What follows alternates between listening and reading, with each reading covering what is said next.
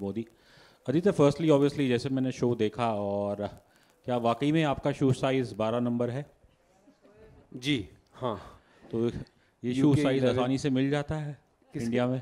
हाँ मिल जाता है एक्चुअली आजकल मिल जाता है। Earlier we I wouldn't get my size but nowadays I think I don't know if our average height has a nation has grown but we are we there available Aditya, uh, in terms of your career, you know, you've been around, uh, I think, for over a decade now, Yeah, and uh, uh, आपके लिए ये show, you know आपके career के लिए इसने क्या किया है?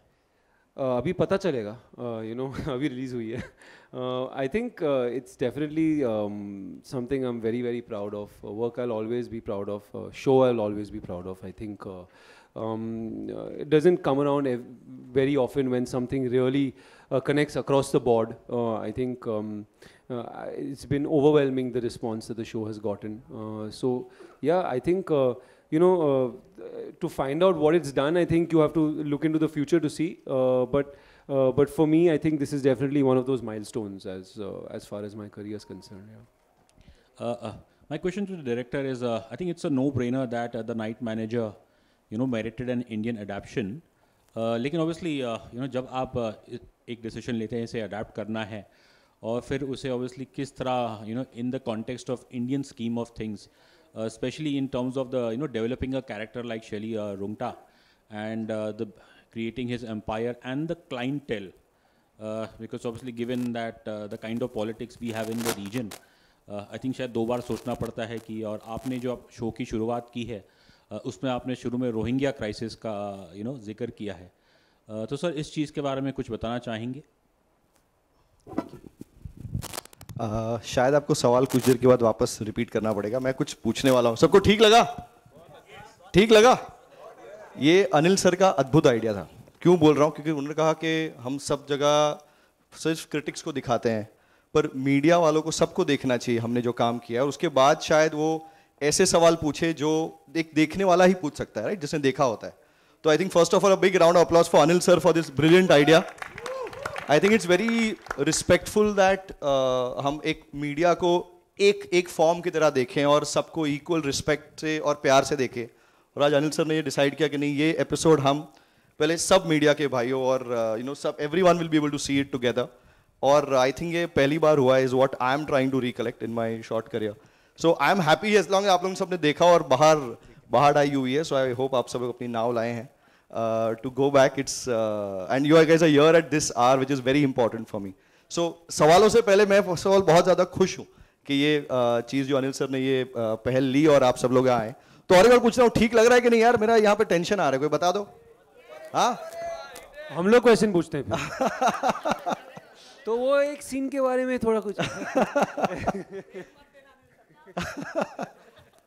नहीं सो आई थिंक ये ये ये बहुत ज़रूरी था कि, और ये एज आई सेड आप लोग ने देखा कि ये कितना इंपॉर्टेंट एपिसोड था, है ना? कितनी सारी चीज़ें बदल रही थी, कितने सारे नए रिलेशंस खुल रहे थे, अनिल सर का अलग रूप, आदित्य का अलग रूप यू नो तिलोतमा के कैरेक्टर के लिए एक अलग नया पहलू ओपन हो रहा है. So there so many things happening so I would say this is the episode which changes everything so so, आप लोग ने you know you seen it so I am looking forward to आप लोग को क्या लगा और आप लोग किस तरह के अभी नाव सवाल पूछेंगे मैं भी आप लोग को जज कर रहा हूँ जैसे आप लोग ने इस शो को जज किया सो so, मयूर जी आपके सवाल पे वापस आता हूँ आपको एक बार वापस आप रिपीट करेंगे प्लीज़ ये question Yeah, so basically what I was asking that uh, you know it's a no-brainer to adapt the Night Manager into uh, an Indian series. Uh, लेकिन obviously जो I think पहला challenge ये रहा होगा कि इसे India में किस तरह you know how to fit it into the Indian scheme of things and specially the idea of an uh, dealer uh, जो कि आई थिंक जो मेरी लिमिटेड नॉलेज में इतना हमें सुनने को नहीं मिलता बिकॉज़ नॉर्मली इस चीज़ चीज़ों में वेस्टर्न्स यू नो अफ्रीकन्स वैसे लोग रहते हैं। सो uh, बेसिकली so इस किरदार को जो डेवलप करना यू you नो know, उसका business and specially the client tale show का जो पहला एपिसोड है उसमें आपने रोहिंग्या क्राइसिस uh, उससे शुरुआत की है। Uh, तो इस चीज़ पे सर मुझे uh, मेरा सवाल यही था। देखिए, मयूर जी, ये जो आप बातें पूछ रहे हैं, ये मेरे ख्याल से इस सवाल का जवाब मैं पहले भी दे चुका हूँ during the first four episodes but एक एक बहुत ही शॉर्ट में कहूँगा दैट कहानी इतनी अद्भुत है कि उसको अडेप्ट करने के लिए जो उसमें वहाँ पे रस था, वही रस यहाँ ढूंढा है। और एंटरटेनिंग लगी है first four episodes have been loved by everybody and yeah I am looking forward to knowing now कि आप लोग को फिफ्थ एपिसोड कैसा लगा। That's my key question now so over to you guys again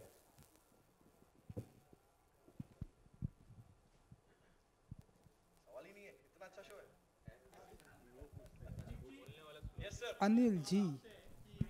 किसके लिए? अनिल सर के लिए मेरे लिए? थैंक यू सर बड़े पर्दे पे देखने का जो एक अनुभव रहा बहुत ही अच्छा रहा। अ, संदीप जी आपसे जानना चाहूँगा अ, हमने आज ये जो स्क्रीन पे देखा सेवेंटी में कहीं आपके दिमाग में ये कहीं आया है कि let's make it screen screen scene सच कहूँ तो आ जा रहा है। आप सब लोग को देखकर और आप लोग के रिएक्शन मुझे मुझे दिख रहा है कि अभी आप लोग क्योंकि कैमरा हाथ में है तो इसलिए ताली नहीं बजा पा रहे हैं शायद। अ, प्यार इतना व्यक्त नहीं कर पा रहे but I feel I feel कि हाँ ये ऐसा कहे तो पर्दे की साइज़ पे लिमिटेड ये कहानी नहीं थी और ये परफॉर्मेंस नहीं है। अ, ये कोई भी पर्दे की साइज़ दो आप यू नो इंचेस हो या 70 एम mm हो या कोई भी हो you know they are gonna tell the story with the same passion and fire and that's the thing about the team so so, हाँ, आज आज बिल्कुल आ रहा है ये ये फीलिंग कि हाँ काश ये ऐसा कुछ करें हॉटस्टार के भी कुछ लोग हैं और ये सुन रहे हैं हमारी बातें तो क्या पता कुछ दिनों में ऐसा भी अनाउंस करें आप लोग को और एक बार बुलाए प्रेस कॉन्फ्रेंस में कहें कि चलो इसको बड़े पर्दे भी देखते हैं। Hello hi guys my name is Mohit hi right here Mohit from A V S first let me tell you we all love this show the fifth episode is amazing and I am sure I say this on behalf of everyone that we are looking forward to know what happens next thank you. I want to talk about this gentleman at the center of this, Anil sir. What a fabulous actor. All the three artists with Anil sir, I want to ask you this. When you work with such an amazing actor, I'm sure there are a lot of learnings, but I want to know what is that one pro and one flip side of working with this dynamic actor? Let's start with Aditya first.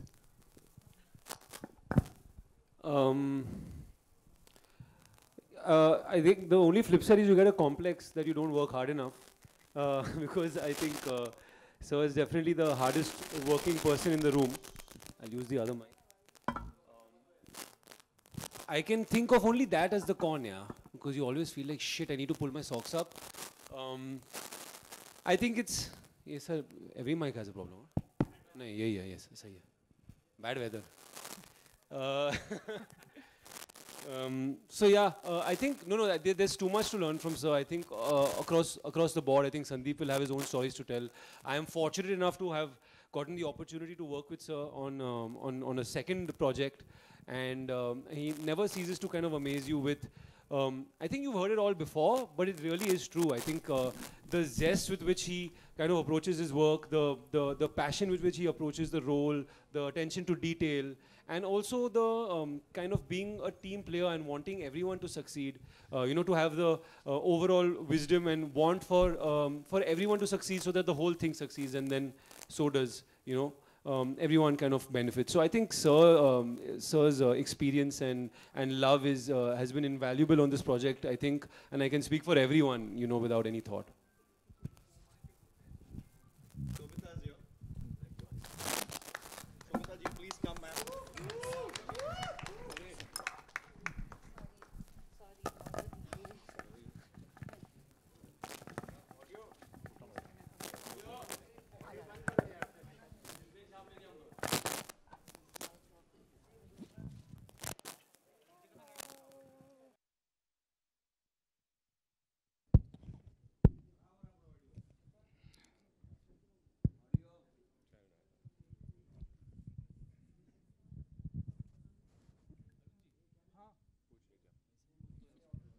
Audio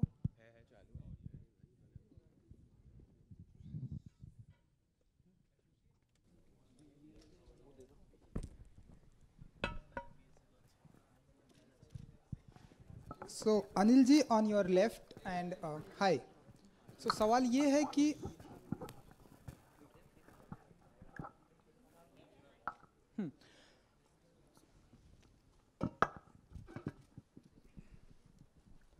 Anil ji सवाल ये है कि industry में आप सबसे ज़्यादा किसके ऊपर ट्रस्ट करते हैं? एंड अगर आपको उन्हें कुछ रिस्पॉन्सिबिलिटी देनी हुई तो वो क्या होगी?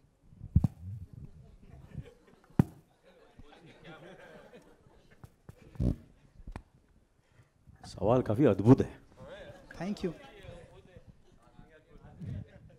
मतलब ट्रस्ट मतलब क्या? मतलब मैं समझा नहीं मतलब कि सब इंडस्ट्री में बहुत सारे आपके दोस्त हैं क- काफ़ी करीबी दोस्त हैं। सो so, काफ़ी जो आपके करीबी दोस्त हैं काफ़ी सुपरस्टार भी हैं और सभी बहुत ही अच्छा काम कर रहे हैं। एंड यहाँ पर पूरी टीम आपकी सारी बहुत ही अच्छी है नाइट मैनेजर की। तो सबसे ज़्यादा आप ट्रस्ट आँख मूंद कर किसके ऊपर ट्रस्ट करते हैं? किस किस सिलसिले में? कुछ भी वो आप बताएँगे। मतलब काम में काम में एंड आपके दोस्ती में एंड तो इस वक्त क्या मतलब काम के बारे में कहूँ दोस्ती के बारे में कहूँ किसके बारे में? कुछ भी आप बोल सकते हैं। दोस्ती के बारे में बोल सकते हैं काम के बारे में बोल सकते हैं कुछ भी बोल सकते हैं। एक चीज़ जावेद साहब ने कही है हमेशा, और मैं सबसे कहता हूँ ये विच मेरे जहन में रह गई वो बात जावेद अख्तर साहब के, और ऋषिदा भी कहते थे, रिशिदा के साथ मुझे काम करने का मौका मिला तो वो यही कहते थे कि यार काम करते रहना चाहिए, साथ में काम करते हैं तो फिर मिलना जुलना बातचीत यू नो चाय कभी कभी यू नो घर पे आना, जाना डिस्कस करना पैकअप के बाद यू नो वैनिटी वैन में बैठना इन बिटवीन शॉट्स में बातचीत करना तो ये दोस्ती कायम रहती है। फिर जब फ़िल्म ख़त्म होती है या शो ख़त्म होता है, फिर सब सब अपने अपने रास्ते चले जाते हैं, सब बिज़ी हो जाते हैं कोई दूसरी फ़िल्म में काम कर रहा है, कोई यू नो दूसरी चीज़ों में बिज़ी हो जाता है। तो मैं हमेशा कहता हूँ कि वो बोलते यार चलो यार, मुझसे स्क्रिप्ट मत लिखाऊँ, गाने तो लिखवा लो, ताकि आपसे मुलाकात चलती रहे।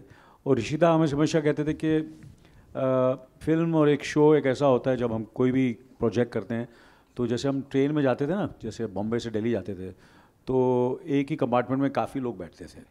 और सेकंड क्लास में या थर्ड क्लास में जब भी वो जो तो उनसे दोस्ती हो जाती थी। प्यार मोहब्बत हो जाता था, खाना पीना साथ में होता है, बातचीत होती है।